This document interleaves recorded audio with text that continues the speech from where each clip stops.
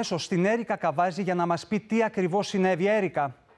Την τελευταία του πνοή άφησε στην άσφαλτο 43χρονος από την Ρωσία, μόνιμος κάτοικος Κύπρου, όταν η, μο, η μοτοσυκλέτα μεγάλου κυβισμού που οδηγούσε, τρίτροχη συγκεκριμένα, Γιάννη ε, παρεξέκλεινε της πορείας του, χτύπησε σε περιτύχισμα και στη συνέχεια ανατράπηκε. Δυστυχώς αυτή επέβαινε και εξάχρονο αγοράκι με ελληνική υπηκότητα, γεωργιανό με ελληνική υπηκότητα σύμφωνα με τις αρχές. Ε, να πούμε ότι το, το παιδάκι αυτό ε, είναι γείτονας του 43χρονου το είχε ε, βάλει στη μοτοσυκλέτα με σκοπό να το πάρει μια βόλτα όπως δείχνουν τα στοιχεία της αστυνομίας εκεί στη γειτονιά. Δεν έφεραν κράνη ασφαλείας ούτε ο 43χρονος ούτε το 6χρονο παιδάκι με αποτέλεσμα να τραυματιστούν. Μεταφέρθηκαν στο Γενικό Νοσοκομείο Λεμεσού όπου διαπιστώθηκε ο θάνατος του άτυχου 43χρονου ενώ το αγοράκι Γιάννη παλεύει για να κρατηθεί στην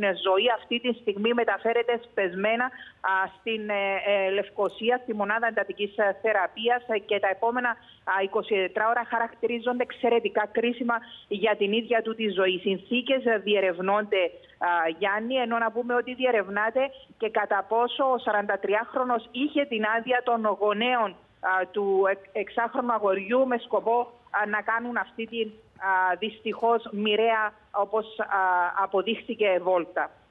Μάλιστα, Έρικα, ελπίσουμε βεβαίως